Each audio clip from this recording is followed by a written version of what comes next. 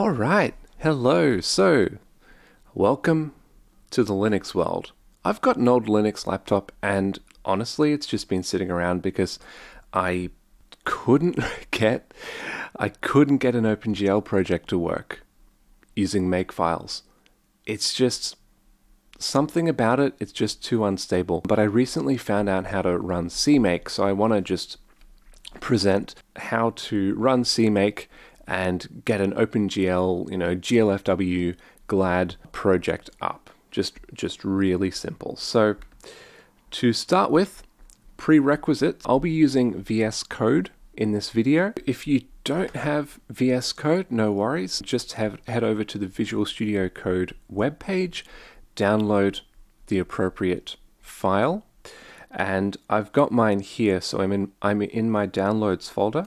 I'll just list storage, and we have all these bits. And this first one, this code.deb, is the package that I want. I've installed it already, but if I hadn't installed it, all I would do is sudo apt install and then the name of the file, tab to autocomplete.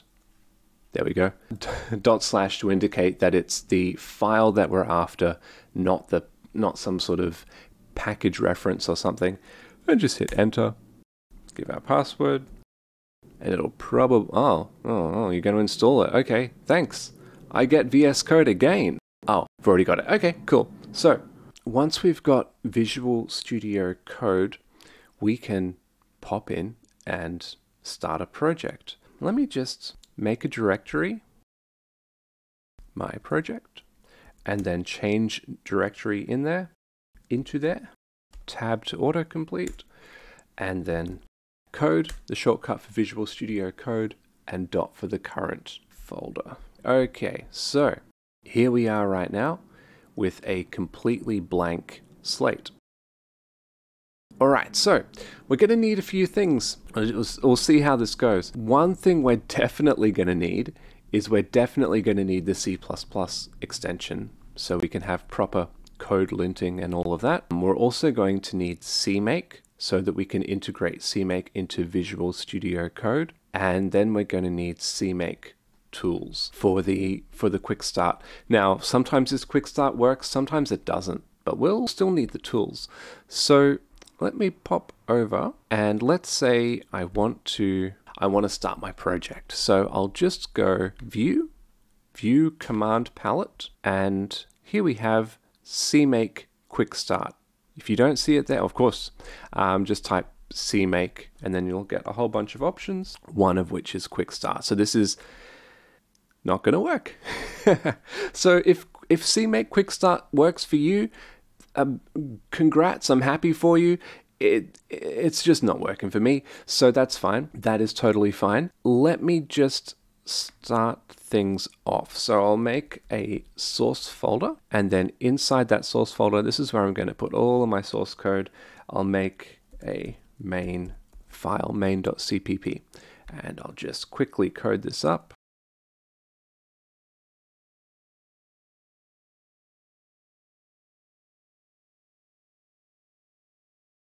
the CMake quick uh, quick start didn't work. That's perfectly fine. It's not the end of the world.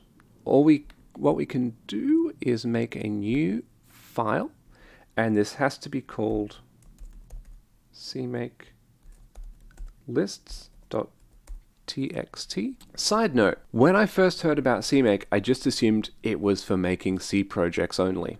Turns out that C stands for cross, like cross-platform, Anyway, the more you know. So first of all, I'll just specify which version of CMake I'm going to use. And the CMake tools are kicking in here and, and linting my code. So this will be version 3. So this is all done with functions. So the next function I'm going to call is called project.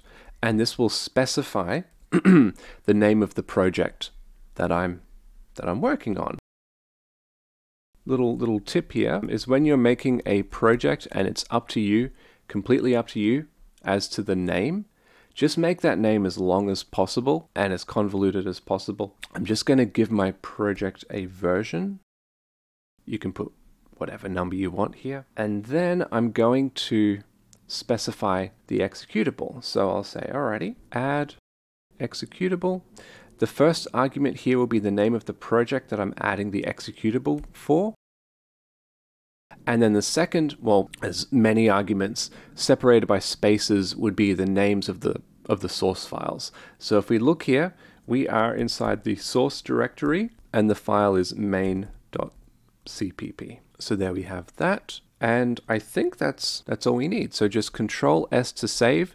But see, there isn't really a way to build this right now. Right now, this is just a random file floating around in the folder. So what we need to do is we go to View, Command Palette, and then type CMake to get all the CMake commands. And it's this configure command that we really want. So we'll just hit CMake configure. And it does its thing. And see now down the bottom, I've got some CMake options. By the way, if you hit CMake Quick Start and it did work, one of the things it would ask would be for the uh, compiler. So if I click on this compiler, I have the option to select from a whole bunch of them. This can be a little overwhelming the first time you see it. I chose to go with this compiler up here because if you look on the side, it says using compilers. We've got a C compiler, the standard GCC, and we've got a C++ compiler, the standard G++.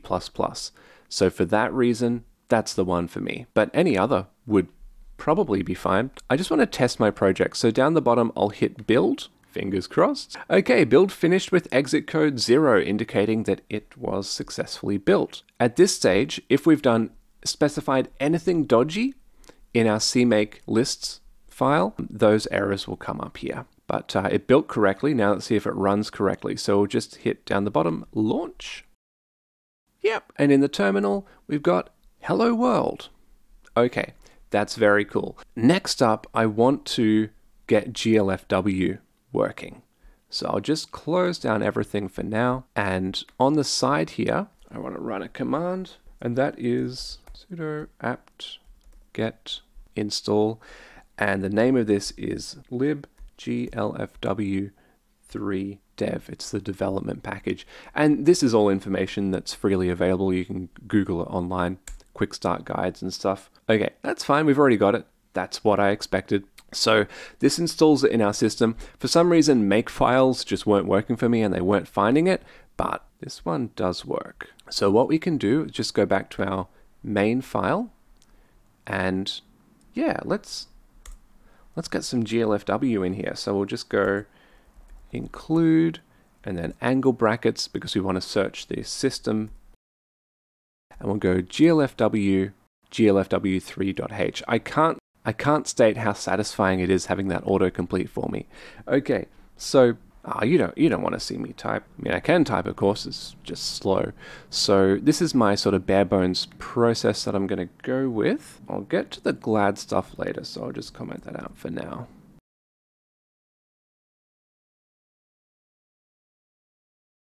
My mouse is being weird. I'm using the trackpad.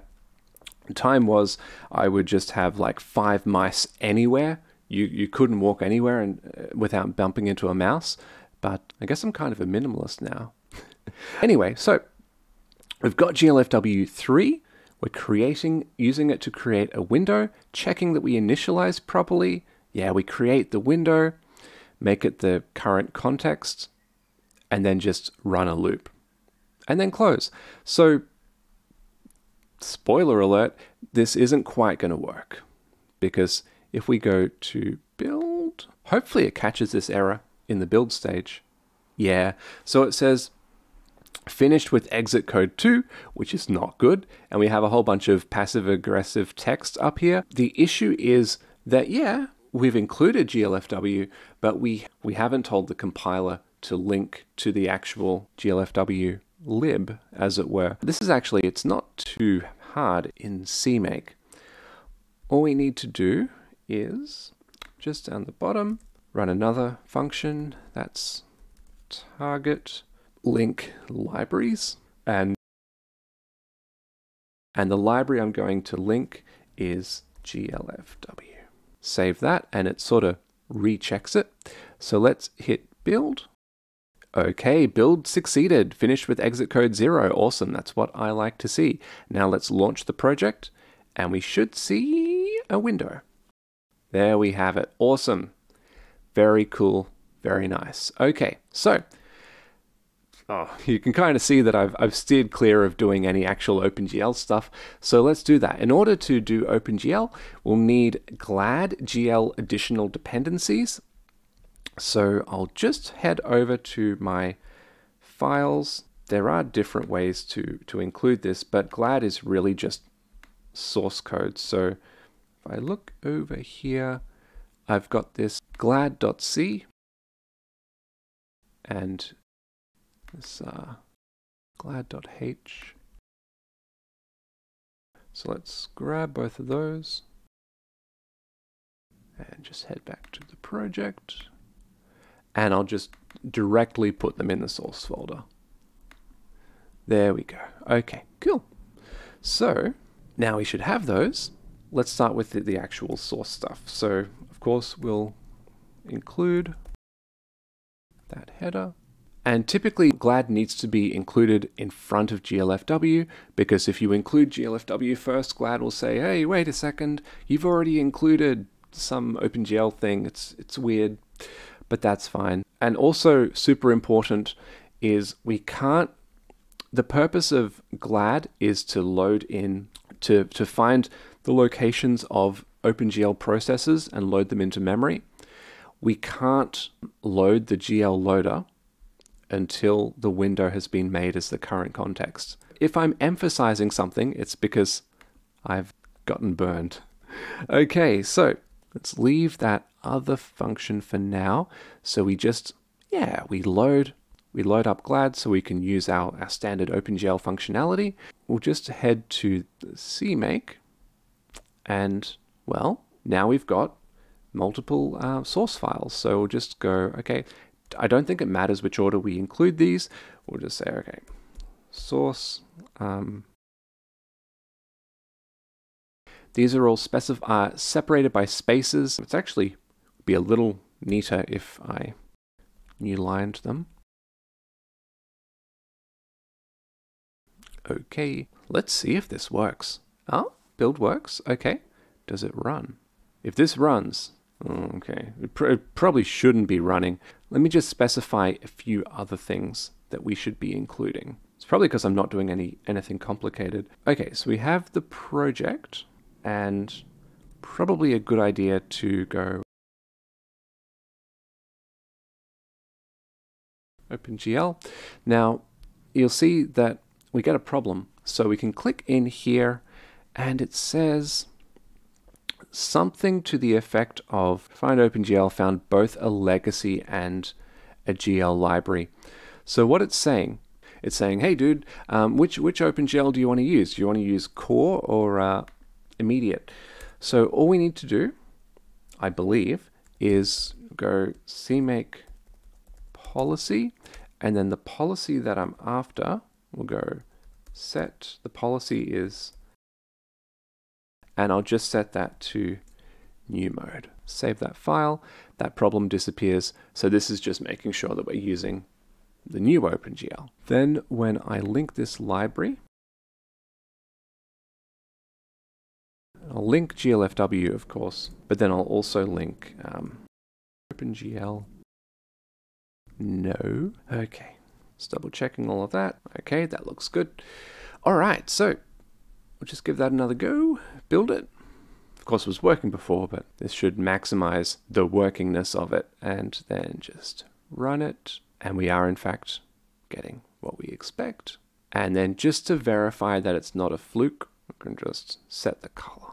Okay, so we've got a little bit of red, mostly blue. Build it again, launch it, and there we have it. Okay, that's, yeah, that's very cool. So from time to time, I am going to be doing a few videos on OpenGL Linux stuff because honestly, I do prefer Linux. I think it's good. It's good when it's good. Anyway, so that'll be it for now. Hope you had fun, and I'll see you again soon. Bye.